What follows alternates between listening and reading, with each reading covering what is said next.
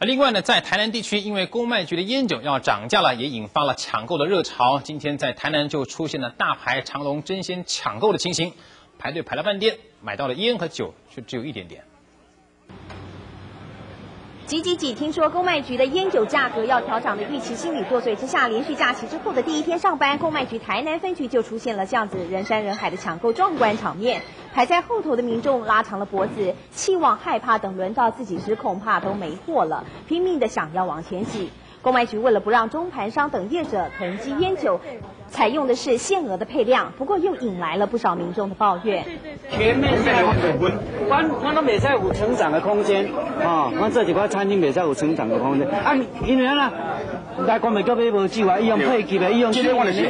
尽管台南分局的人员已经加派了人力，忙进忙出，还是无法应付这批抢购的人潮。抢购民众几乎要苦等几个小时以上，才能够限量配额买到比平常少六成的烟酒。